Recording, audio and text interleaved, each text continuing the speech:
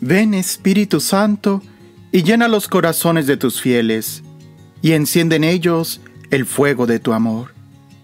Envía tu Espíritu y serán creadas todas las cosas, y renovarás la faz de la tierra. Oremos. Oh Dios, que has instruido los corazones de tus fieles con la luz del Espíritu Santo, concédenos que sintamos rectamente con el mismo Espíritu y gocemos siempre de su divino consuelo. Por Jesucristo nuestro Señor. Amén. Iniciamos la lectura del Catecismo de la Iglesia Católica. Estamos en el número uno. Prólogo.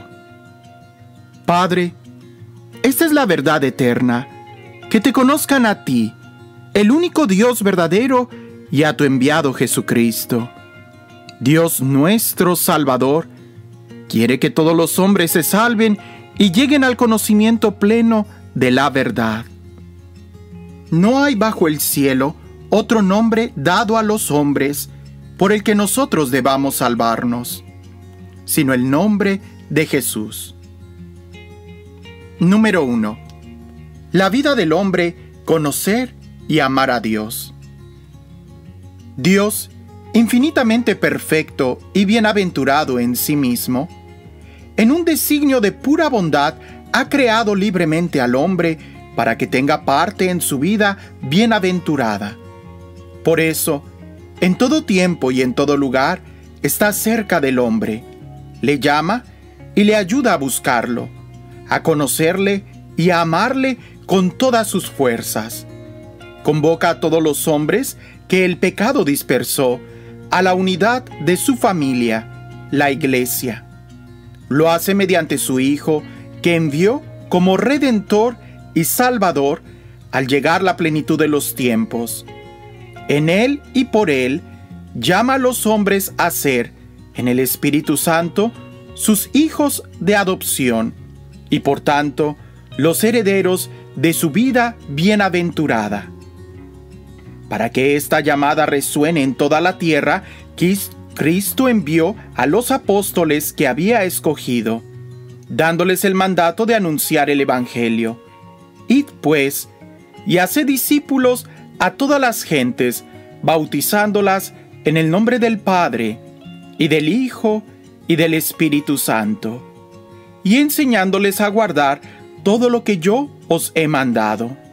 Y sabed que yo estoy con vosotros todos los días hasta el fin del mundo. Fortalecidos con esta misión, los apóstoles salieron a predicar por todas partes, colaborando el Señor con ellos y confirmando la palabra con las señales que la acompañaban. Quienes con la ayuda de Dios han acogido el llamamiento de Cristo y han respondido libremente a ella, se sienten por su parte urgidos por el amor de Cristo a anunciar por todas partes en el mundo la buena nueva.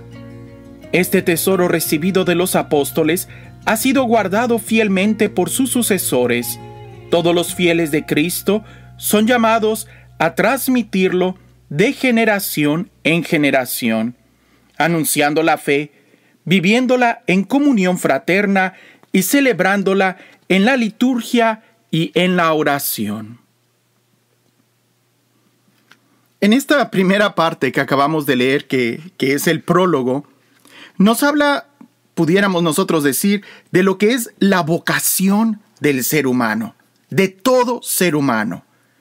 Partes que nosotros tenemos que tener bien claro en este, en lo que acabamos de leer es, número uno, la vida del ser humano, de todo ser humano, la tuya, la mía, la de tu vecino, la de tu esposa, es conocer y amar a Dios. En eso radica. Cuando el ser humano no conoce a Dios, siempre va a estar, pudiéramos decirlo en un lenguaje cotidiano, siempre va a estar enojado, triste, estresado, en angustia, con un vacío existencial. Pero cuando el ser humano llega a conocer a, Cristo, a Dios, a amarlo, entonces su vida tiene un sentido. se sabe que está llamado a la eternidad. Se sabe que, que, no es solamente cuestión de trabajar y de sobrevivir unos cuantos años aquí en la tierra y que después va a quedar en el olvido. No, cuando alguien conoce a Dios, sabe para lo que fue creado. ¿Y para qué fue creado? Pues para amar a Dios. Alguien pudiera decir, pero ¿no es eso un poco egoísmo? No, porque Dios es el sumo bien y es lo que da plenitud al ser humano. Por eso nuestra vida tiene que estar orientada a Dios. Ahora, e, eso pudiera ser el número uno que acabamos nosotros de, de leer en este párrafo. En el segundo párrafo, pues resulta que esa llamada no solamente está inscrita en el corazón del hombre, sino que además, de una manera muy explícita, Jesús la transmite a sus apóstoles. Y todos somos convocados a través del anuncio y la predicación del Evangelio, que sería el número 3, a vivir en la iglesia, a ser parte del pueblo de Dios, a estar unidos a Él. Ahora, esta llamada es universal, es para todos. No es solamente para algunos o no hay que excluir a nadie. Así que, como nos damos cuenta, el catecismo de la Iglesia Católica está partiendo desde lo más básico, desde lo que está ya inscrito en el corazón de cada ser humano. Valdría la pena que tú, en un momento de silencio, trataras de preguntarte si esto que acabamos de leer tiene eco en ti. ¿Tú estás de acuerdo en que en tu corazón está como que ese anhelo a la eternidad? ¿De que en tu corazón está como ese deseo a ser amado? ¿De que en tu corazón está inscrito esa sensación de, de querer vivir para siempre? Pues bueno, eso significa que tú estás buscando a Dios y solamente vamos a descansar, como diría San Agustín, hasta que tengamos un encuentro con Él. ¿Cómo se logra esto? Pues conociendo y recibiendo a Jesucristo como nuestro Salvador. Así que en esta primera parte, que quede bien claro que la vida del hombre es conocer y amar a Dios. Fuera de esto, el hombre siempre va a estar frustrado, siempre va a estar como que en una angustia. Ahora, se trata de la vida, no solamente de un conocimiento. Se trata de amar, no solamente de quedarnos en la superficie. Por eso, importante poder profundizar en estas dos palabras, conocer y amar. Conocer no de manera intelectual, ¿eh? sino más bien de tener una experiencia de Dios y amarlo porque no se trata de que solamente lo conozcamos en un retiro y que estemos bien emocionados si después no vamos a amarlo.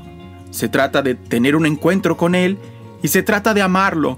Y amarlo significa el buscarlo, ¿no?